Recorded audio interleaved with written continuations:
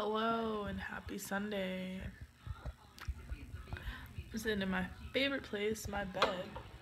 I've got my guitar because I took a little guitar lesson today, which was real cute.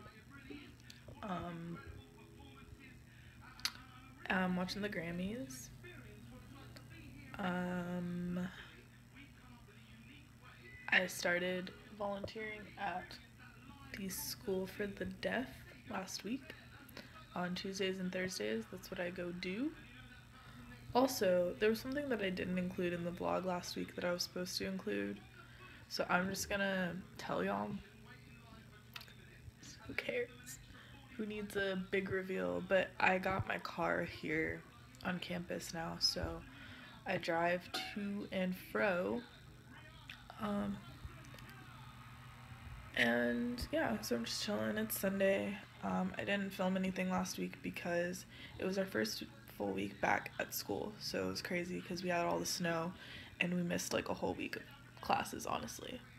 Um, so last week was our first full week, and my song is on, so I gotta go. But um, yeah, so I've been busy.